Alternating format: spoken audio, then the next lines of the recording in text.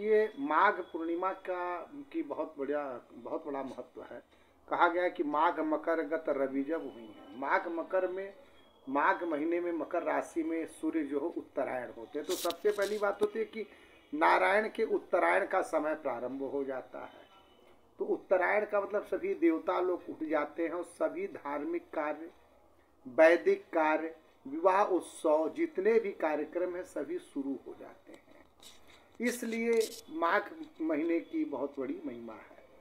इस बार माघ की पूर्णिमा जो है 24 फरवरी दिन शनिवार को पड़ रही इसका प्रारंभ जो है 23 फरवरी दिन शुक्रवार को दिन में तीन बजे से लेकर के प्रारंभ होगा और 24 तारीख को शाम को चार बज के बावन मिनट तक पूर्णिमा रहेगा। इस दिन देखिए माता लक्ष्मी की कृपा प्राप्त करने के लिए तो सबसे पहले इस दिन हम लोगों को ब्रह्म मुहूर्त में उठ जाना चाहिए। ब्रह्म मुहूर्त में उठ करके श्रीमन नारायण मंत्र का जप करना चाहिए या नमो भगवते वासुदेवाय का जप करते हुए गंगा स्नान करना चाहिए। गंगा स्नान करके आने के बाद हम लोगों को लोगों को घर में अपने मंदिर की सफ़ाई करनी चाहिए।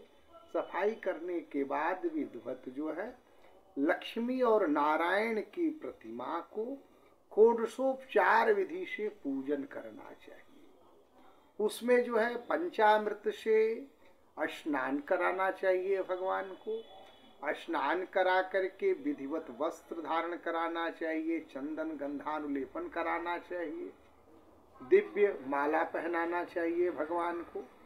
उसके बाद उनके सम्मुख प्रसाद रख करके दीप प्रज्वलित करना चाहिए, धूप दीप। और हो सके तो श्री सत्यनारायण भगवान की कथा करनी चाहिए श्रीमन नारायण का जप करना चाहिए, हवन करना चाहिए। ऐसा करने से व्यक्ति के पाप नष्ट होते हैं और धन धान्य और लक्ष्मी की प्राप्ति